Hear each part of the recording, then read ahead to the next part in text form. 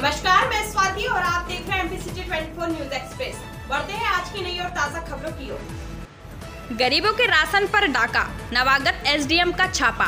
व्यापारी के वाहन से बरामद हुआ तिरानवे क्विंटल सासकी चावल। वाहन को पुलिस अभिरक्षा में रखकर आवश्यक वस्तु अधिनियम के तहत की जा रही कार्यवाही। विगत कई वर्षों से लांजी क्षेत्र में सोसाइटी का राशन जैसे चावल और गेहूँ की निजी व्यापारियों के द्वारा कालाबाजारी किए जाने की खबरें लगातार समाचारों में प्रकाशित होती रही है। बावजूद इसके अब तक कोई बड़ी कार्यवाही नहीं किए जाने से लोगों में निराशा व्याप्त थी। वहीं इस मामले पर लांजी के नवागत एसडीएम कौरव द्वारा तगड़ी कार्यवाही कर लगभग तिरानवे क्विंटल सासकी चावल को वाहन सहित बरामद कर लांजी पुलिस की अभिरक्षा में रखा गया है। और आवश्यक वस्तु अधिनियम के तहत कार्यवाही किए जाने की बात कही गई है। ऐसे पकड़ी गई व्यापारी की चोरी। लांजी एसडीएम प्रदीप कौरव के अनुसार वे क्षेत्र के भ्रमण पर थे, तभी उन्हें एक वाहन संदेहास्पद स्थिति में दिखाई दिया, जिसके बाद उन्होंने उक्त वाहन को फ़ूड इंस्पेक्टर के साथ जाँच में लिया और नागरिक आपूर्ति निगम के द्वारा भी उक्त वाहन में भरे हुए चावल की जाँच कराई गई। तो पाया गया कि उसमें सरकारी राशन में पाया जाने वाला फोर्टिफाइड चावल था। जिसके बाद मौके पर पंचनामा कार्यवाही कर आवश्यक वस्तु अधिनियम के तहत कार्यवाही प्रारंभ है और उक्त व्यापारी के वाहन 407 को पुलिस थाना लांची में अभिरक्षा में रखा गया है। व्यापारियों के लिए खतरे की घंटी। सूत्रों से मिली जानकारी के अनुसार अनेक फुटकर व्यापारियों के द्वारा हितग्राहियों से सोसाइटी का उक्त चावल खरीदकर बड़े व्यापारियों को उचित दामों में बेचा जाता है और फिर यही चावल दूसरे राज्यों में भेजकर बिक्री की जाती है। जिसे कई गुना दामों में बेचकर व्यापारी मोटा मुनाफा कमाते हैं।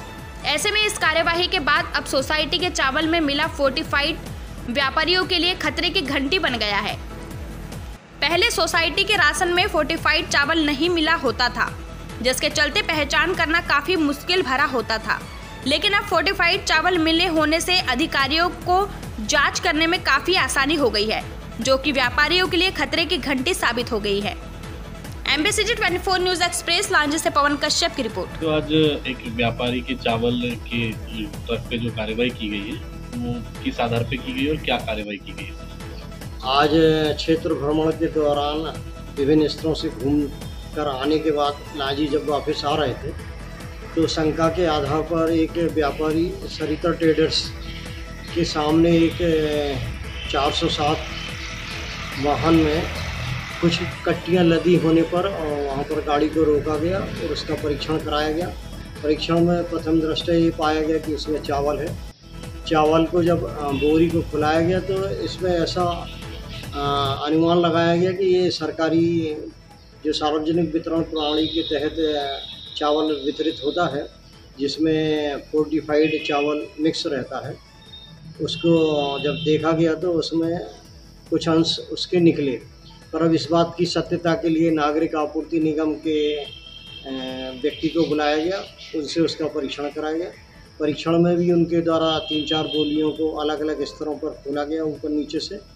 और उसमें भी ये पाया गया कि इसके अंश, सार्वजनिक वितरण प्रणाली में जो चावल वितरित होता है, उसके अंश हैं। उसके आधार पर सरिता ट्रेडर्स के व्यापारी के जो 407 का माल था, उसको जब्त किया गया। जब्त करने के बाद थाना परिसर में उसको कराया गया कराया गया और उसके बाद अब आवश्यक वस्तु अधिनियम के तहत उसमें कार्रवाई की गई।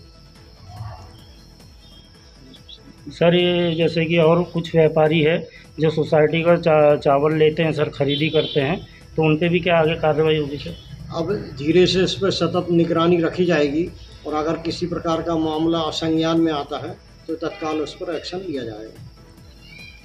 मिलते हैं अगली बार नई और ताज़ा खबरों के साथ। बने रहिए हमारे साथ MPC twenty four news express में। तब तक के लिए नमस्कार।